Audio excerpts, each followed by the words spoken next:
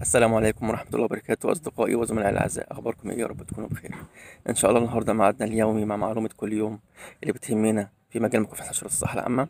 هاخدكم النهاردة تمرين عملي ليا زيارة ودي آخر زيارة ليا في مزرعة الإبل اللي متابعني من الفيديو السابق تمام؟ دي الزيارة رقم أربعة ليا في المزرعة. تعالوا معايا نشوف هنعمل إيه النهاردة في الزيارة الأخيرة تمام؟ وإيه اللي طلعناه من الزيارات السابقة؟ اللي بيشوفني أول مرة.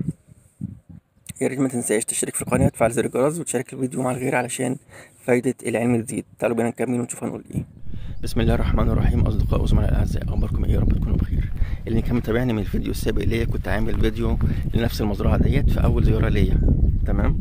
وقلنا إن في أماكن آه، مساحتها كبيرة ما ينفعش أغطيها من أول زيارة. لازم آجي في زيارات متتالية علشان المشكلة كانت كبيرة. فعلشان أحل المشكلة دي مش هينفع معايا أجي مرة أو اتنين. تمام؟ إحنا هنا في المزرعة دي كان عندي مشكلة رئيسية التعبان كتير.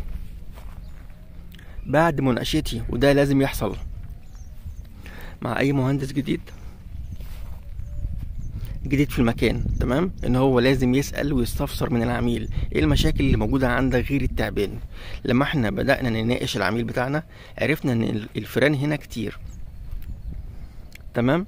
وإحنا عارفين طبعا كناس متخصصة السلسلة الغذائية التعبان من أهم الوجبات الرئيسية ليه؟ الفار. تمام؟ فعلشان نشتغل صح على التعبان ونجيب نتيجة في أسرع وقت لازم نشتغل على الفار. وده اللي إحنا فعلا بدأنا نعمله.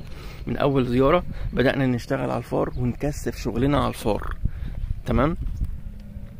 علشان شيء بديهي التعبان لما يجي مش هيلاقي أي غذاء ليه هيبدأ يبعد عن المكان. طبعا المصدر التاني والمصدر الرئيسي لوجود التعبان المية وفرة المية. كنا إحنا لو تابعنا برضه أول مرة كان عندي مشكلة رئيسية هنا.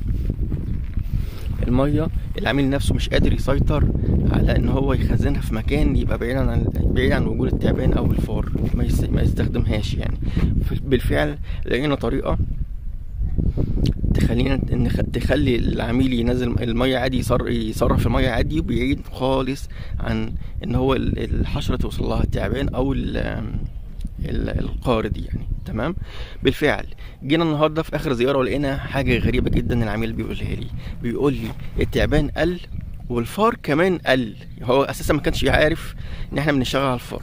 لكن آه لقيته النهارده بيقول لي إن التعبان قلت إن العاملين اللي في المكان هنا في المزرعة بحكم إن هم قاعدين في المزرعة 24 ساعة فبيشوفوا أو أكتر ناس عارفين إن الحشرة دي زادت أو قلت. فبمناقشتهم قال لك لا فعلا التعابين قلت والفئران قلت. فإحنا عرفنا الحمد لله إن إحنا شغلنا جاب نتيجة. إحنا على مدار الأربع زيارات يعني دي رابع زيارة ليا لنفس المكان. على مدار الأربع زيارات جبت عشرين فار من نفس المزرعة. تمام؟ وطلعنا أربع تعابين. تمام؟ آه التعابين بس إحنا ما كناش بنصورها لأن العامل لما كان بيشوفها ميتة كان بيتخلص منها. فإحنا لما بنيجي الزياره اللي بعدها المفروض برضو توعي الناس بتوعك أو توعي العاملين إن هو ما يرميش الفار. لازم أنت تيجي بنفسك تشوف تعرف الفار ده العميل اللي موته ولا بفعل المبيد والطعوم اللي أنت حاططها. تمام؟ عاوزين نعرف حاجة مهمة يا جماعة جدا. مصادر الإصابة. علشان تشتغل وعلشان تلاقي نتيجة في أسرع وقت لازم تحل مصادر الإصابة في أي مكان أنت بتشتغل فيه.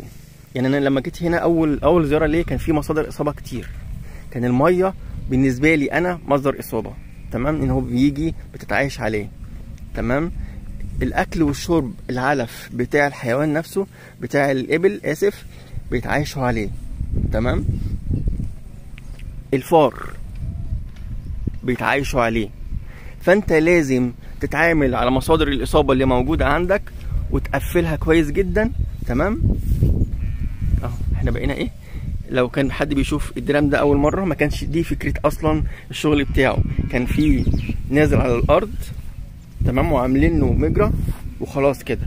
فطبعا ده ما ينفعش. فبدأنا نفكر تفكير بديل نعمل إيه؟ في نفس الوقت ينزل المية ويعمل اللي هو عاوز يعمله ولكن بعيد عن الفار وبعيد عن أي حشرة ما تتغذاش على المية اللي موجودة. تمام؟ بدأنا نقفل المصادر بتاعتنا ونحولها لإيجابيات في صف في صفنا إحنا علشان نلاقي نتيجة ملموسة من قلة الحشرة اللي إحنا جايين نتعامل عليها في أسرع وقت ممكن. والعميل أكتر واحد هيحس بالموضوع ده. يعني بحكم إن العمالة هنا في المكان زي ما قلنا 24 ساعة متواجدة فهي أكتر ناس هتقدر تقيم جودة الشغل بتاعي اللي هي لقيت تعبان كتير أو لقيت تعبان قليل لقيت الفئران كتير أو لقيت فئران قليلة. لما باجي بناقش العامل العامل اللي موجود كل مرة إيه الأخبار؟ شفت إيه؟ ما شفتش إيه؟ تمام؟ اللي شفته كبير ولا صغير؟ طب شفته في أنهي مكان؟ الحاجات دي كلها السجال اللي بيحصل ما بيني وما بين العميل بيوصل لي معلومات اني هبدأ أشتغل عليها وهبدأ أغير خطتي تمام الجديدة. أنا دلوقتي under control حسب العميل. العميل بيقول لي المشكلة زادت بس في الاتجاه ده ببدأ أتعامل في الاتجاه ده. تمام؟ ال ال الإصابة غيرت اتجاهها لمكان تاني بروح على المكان التاني وأطوق الأماكن كلها علشان ما يبدأش ينتقل من مكان لمكان تاني. لازم دايما وأنت بتشتغل تسبق الحشرة بخطوة. ما تستناش الحشرة هي اللي تسبقك. أو التعبان أو ايا كان أنت بتشتغل عليه لازم تسبق اللي قدامك بخطوة علشان شغلك يبقى مؤثر وشغلك يبان في أسرع وقت ممكن. بدل ما العميل يتذمر منك ويتقفف منك لا يشكرك ويجيب عميل تاني وتالت ورابع عن طريق شغلك المحترم وشغلك الكويس. تمام؟ ما تن- ما تنساش. تشتغل يبقى لازم تقفل المصادر بتاعتك وأنت بتشتغل علشان تبقى ماشي في خط متوازي في طريقك للنجاح. تمام كده؟ لازم تعمل خطتك. من أول زيارة عشان تنتهي على آخر زيارة على خير وتلاقي نتيجة ومحصلة كويسة جدا تطلع بيها والعميل يشكرك ويقول لك فعلا جزاك الله كل خير على الشغل والتعب اللي انت عملته طول الفترة اللي فاتت. طبعا علشان تشتغل تحت طقس الحرارة العالية ديت وبتيجي في مكان مزرعة كبيرة بالحجم اللي إحنا شايفينه قدامنا ما شاء الله على الإبل الله أكبر ربنا يصونهم ويحرسهم. تمام؟ بنتابع شغلنا. بتبقى نظرك على أداء تفصيله أداء تفصيلة تبص عليها. تشوف تشوف ال ال ال ال الزبل الفار موجود ولا لأ. تشوف حجم الزبل ده كبير ولا صغير. تشوف الم- المرونة بتاعت الزبل نفسه. ال- الفار ده موجود من فترة قريبة ولا الزبل ده ناشف متحجر. فالموجود الفار ده كان قديم. تمام؟ التعبان المكتشف صغير ولا كبير؟ حجمه إيه؟ نوعه إيه؟